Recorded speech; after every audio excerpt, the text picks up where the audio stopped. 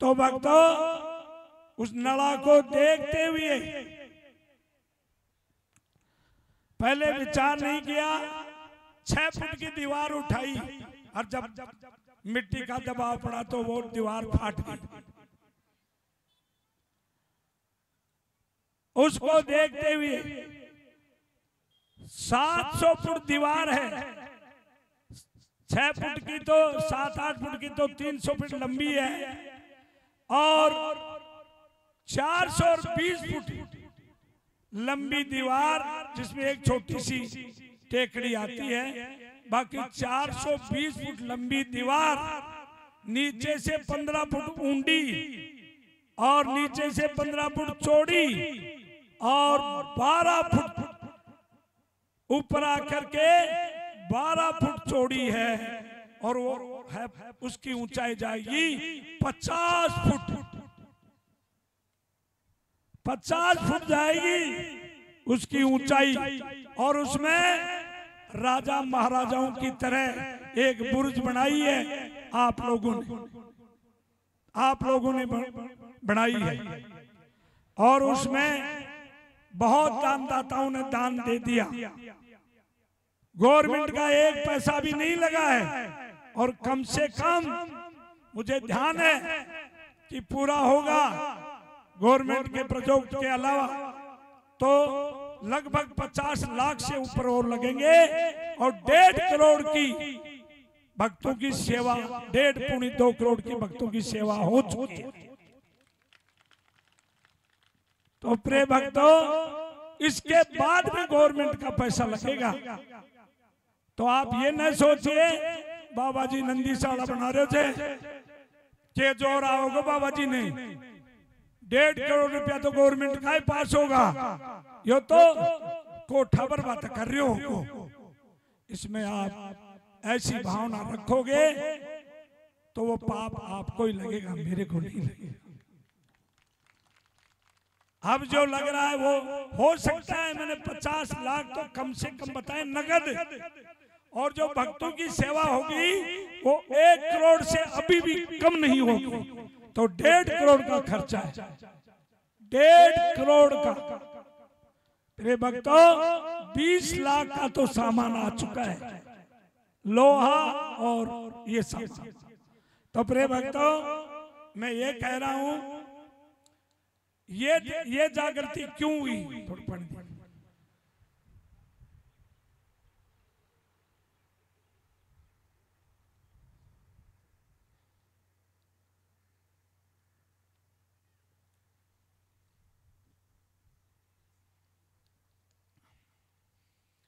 ये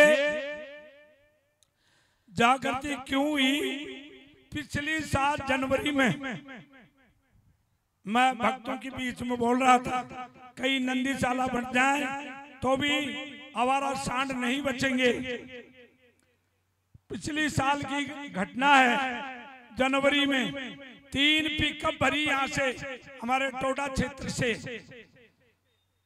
गौ सेवा दल नांगल चौधरी का फ़ोन आया विनोद के पास।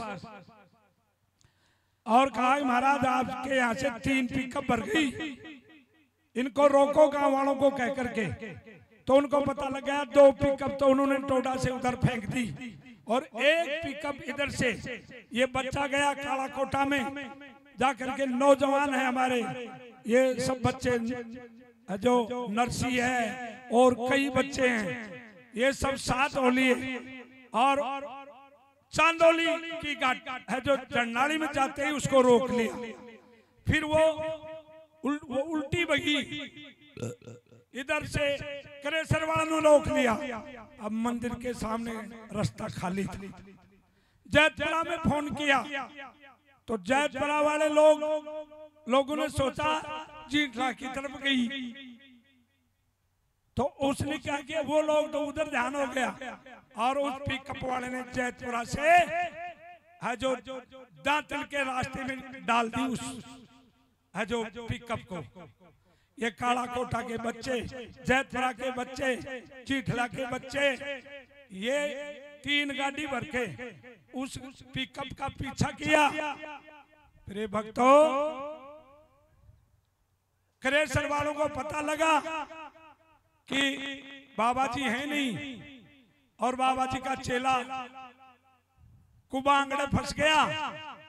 तो वो भी रिवाल्वर बंदूक लेके इन दोनों तीनों गाड़ी दोनों गाड़ियों को बीच में कर लिया। और उन लोगों ने फायरिंग करी या न करी या उनको मौका नहीं मिला। परंतु ये मेरे आँखों से मैंने देखा।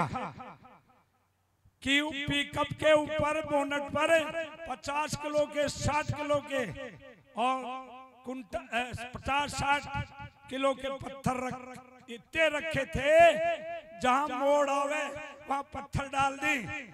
एक हथियार उनके पास नहीं था, जो एक पत्ती के ऊपर किले रुपा देते हैं वो पत्ती रास्ते में डाल देते हैं।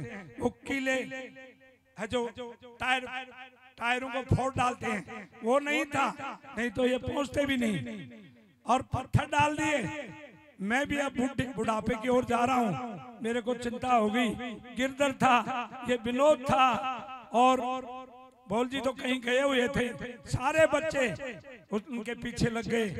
और दातल में सूचना हुई।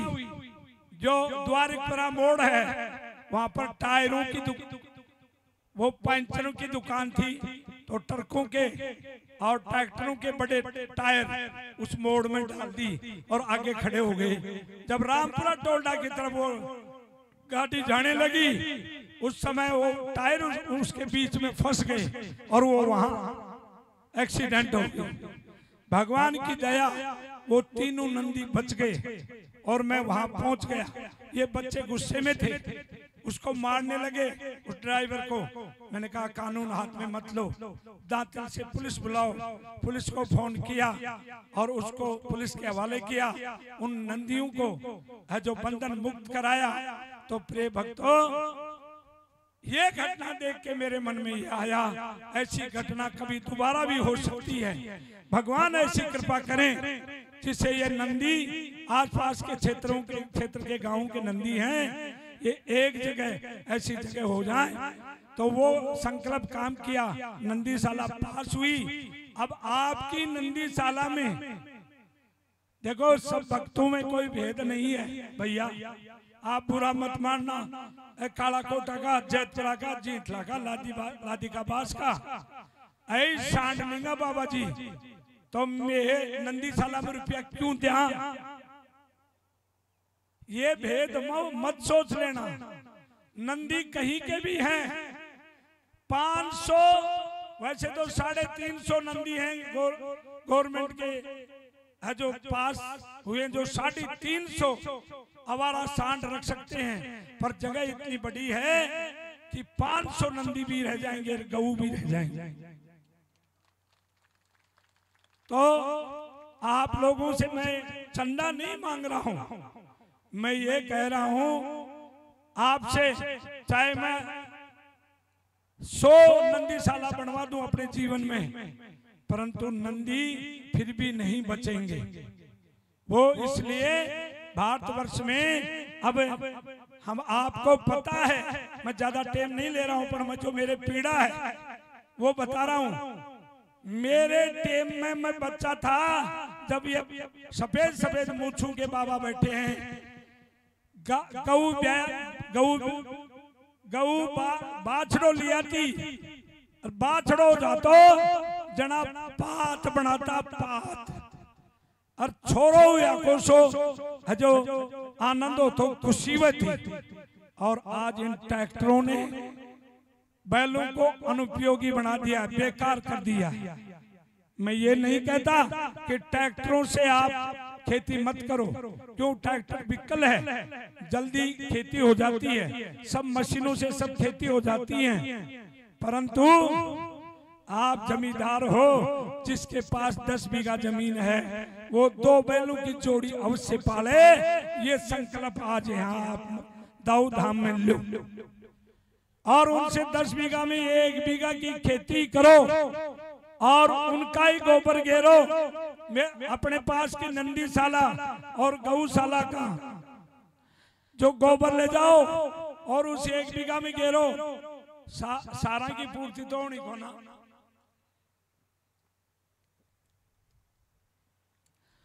और